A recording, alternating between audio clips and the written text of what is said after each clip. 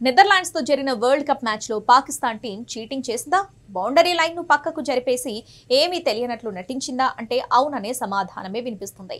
ఈ మ్యాచ్లో రెండు వందల ఎనభై ఆరు పరుగుల లక్ష్యంతో బరిలోకి దిగిన నెదర్లాండ్స్ ఒకనొక సమయంలో పటిష్టమైన స్థితిలో నిలిచింది. ఇలాగైతే టార్గెట్ షేర్స్ చేస్తుందని అంతా అనుకున్నారు. ఇలాంటి టైంలో మైదానంలో ఒక పక్క బౌండరీ లైన్ను కొంత వెనక్కు జరిపినట్లు కనిపించింది. ఈ ఘటన నెదర్లాండ్స్ ఇన్నింగ్స్ ఇరవై ఒకటో ఓవర్లో జరిగింది. బౌండరీ రోప్ ఎక్కడ ఉండాలని మార్క్ చేసిన గీత కూడా ఈ సమయంలో స్పష్టంగా కనిపించింది. ఈ గీతకు అవతలగా బౌండరీ రోప్ ఉండగా పాక్ ఫీల్డర్ ఆ రోప్ వద్దనే నిలబడి ఫీల్డింగ్ చేశాడు. సాధారణంగా అంతర్జాతీయ మ్యాచ్లో బౌండరీ లైన్ ఎక్కడ ఉండాలని ఒక తెల్లటి గీత గీస్తారు. దానిపై కుషన్లతో ఉన్న బౌండరీ రోప్ను ఉంచుతారు ఎంసీసీ నిబంధనల ప్రకారం ఇలా బౌండరీని నిర్ణయించే కుషన్లను ఎవరైనా పక్కకు జరిపితే అది పెద్ద తప్పిదం.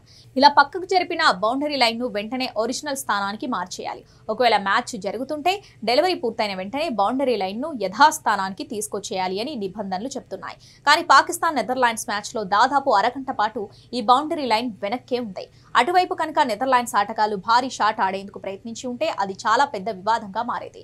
బంతి కనుక నేలపై ఉన్న తెల్ల గీతకు ఆవలగా పడి బౌండరీ లైన్ యువతలే నేలను తాకుంటే అంపైర్లు దాని బౌండరీ ఇచ్చేవారు కాదు. అయితే ఎంసీసీ రూల్స్ ప్రకారం ఇలా జరిగితే సిక్సర్ ఇవ్వాల్సిందే.